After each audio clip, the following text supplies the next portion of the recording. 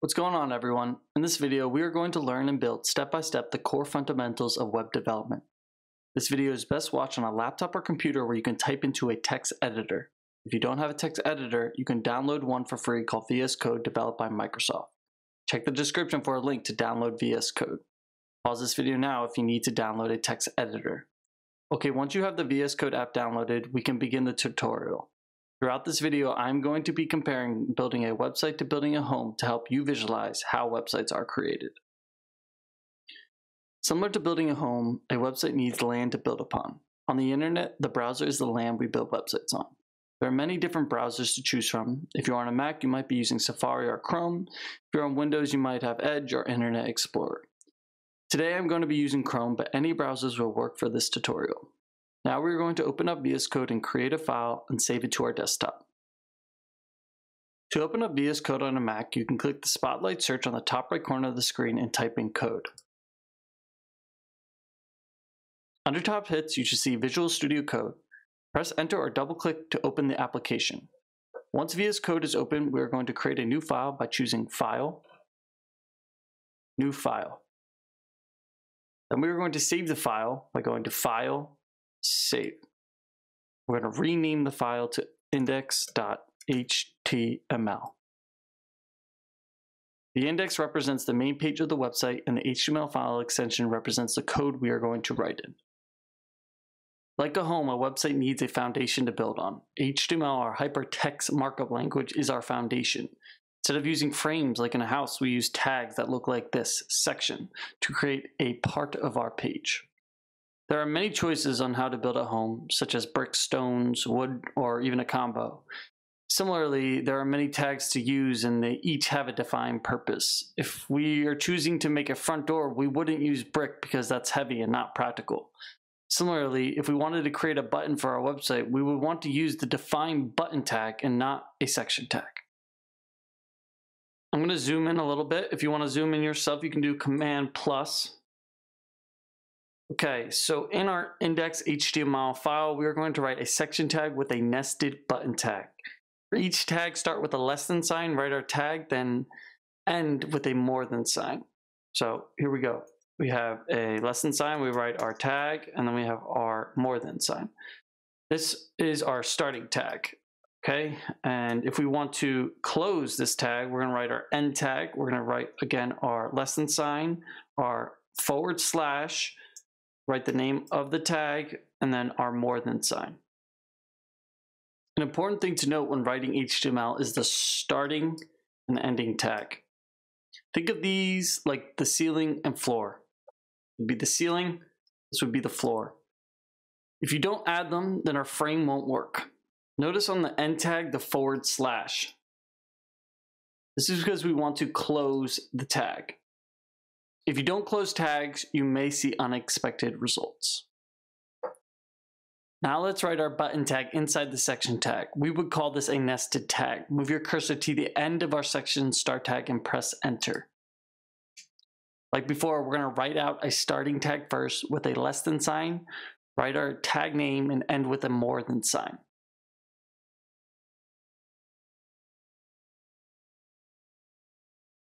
We're going to do the same for the end tag, except we're going to add the forward slash.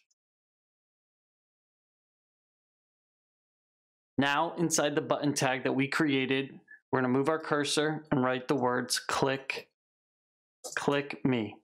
And then we're going to go up to File and Save. Now, if we open up our folder that we created on the desktop and double click our file, you should see the button that we created. After we get our frames up, we can begin to paint the walls. On the internet, the way we add colors to our site is using CSS, our cascading style sheet. Let's say we wanted to style our button to be a green color. We could use a style tag and select our button using this syntax. Button, background color, green. This is our style tag we're selecting our button and we're adding this rule called background color green. Now our button is green. There are other ways we could style our button using CSS properties like border, font size, width, and height. Now let's add the style tag to make our button green. If we go back to our index HTML file, can add the style tag. And inside the style tag, we can add that CSS rule that we were talking about. This button background color green. We're going to write it in. So we're going to select our button up here. And we're going to use these curly braces. And we can press enter. Notice how there's also a starting and ending curly brace. Then we're going to add the CSS rule background color green. And then we're going to file, save it again. We're going to go back to our browser that we had before and we're going to refresh it. And look, our button is green. Like I said before, there are other CSS properties such as color for font color. Let's say we wanted to change it to white. Now if we refresh, now we can see the button a little bit better. If you are not seeing the correct results, it may be because you forgot to save. It may be because you didn't refresh. Or it could be that you wrote the CSS rule incorrectly. One thing to notice again is the curly braces. You need a starting and ending one. You need to correctly spell button and you need to correctly separate what we call the property name from the property value. The property name in this case would be background color. It has a colon and then the property value green and it ends with a semicolon. Same thing for color. This is the property name followed by colon this is the property value, white, followed by a semicolon. Okay, once you are able to see the correct button with the background color green and the font color of white, you'll notice that when we click the button, it highlights, but it doesn't really do anything. Usually when you click a button, some type of action occurs. So in this case, we're gonna add a function that when we click this, we're going to get a message.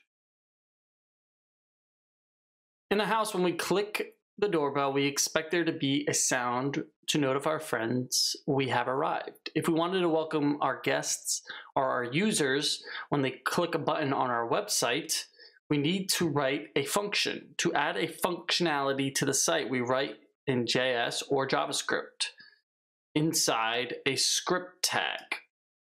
This is the code that we are going to write.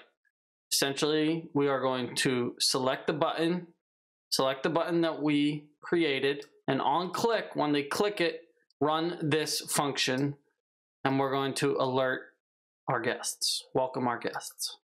Okay, let's go into our text editor and add it to our code. Here we are in the text editor again. We're gonna write our script tag. You'll often notice that there's an autocomplete. So if you click this, it can complete it um, if you have autocomplete on. Um, I don't have it on because I want to show you guys how to correctly write tags without autocomplete because it's important to know. Okay, so we have our script tag. Remember how we write them, the starting tag and the ending tag.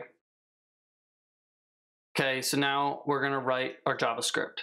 So we're gonna do document, query, selector. This is how we select our button. We're gonna write in our button. We're gonna say on click equals function. All right, parentheses, and then open this up. And inside here is where we're gonna alert or an alert. An alert basically pops open a message and we're going to say, welcome guests. Awesome. Remember to file save or command S, and then we're going to go back into our browsers and we're going to run it. Okay, so now when we click this, woo, it says welcome guests. Awesome. All right, Moving on, we're gonna try to add this website to the internet so we can share it with our friends. Last but not least, if we want to invite our neighbors to a party, we need to send out an email invitation. If we wanted to share our website, we need to create a URL to access it on the internet. Here, we are going to use Netlify, a web application that allows you to publish a site for free. Using their Netlify drop feature, I'm going to drag what we built into the upload button and create, and Netlify will create a URL that we can share with our friends. So if we go to this URL, we copy it. I'm gonna have this in the description.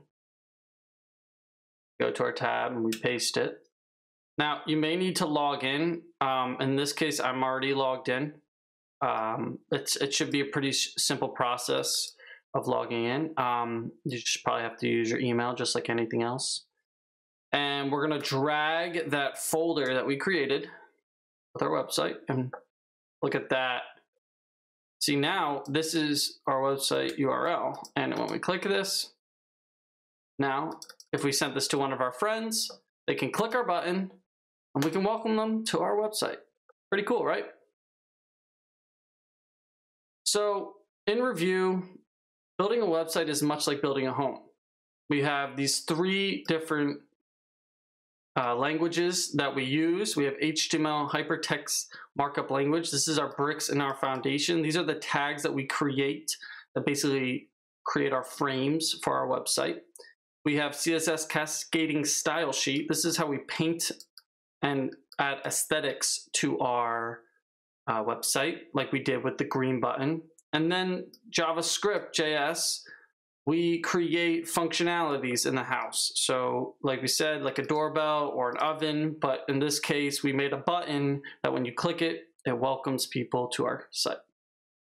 Thanks for watching everyone. Um, on the next video, we are going to learn about the separation of concerns and how to split up these three different languages so that you can build a website in a proper, organized way.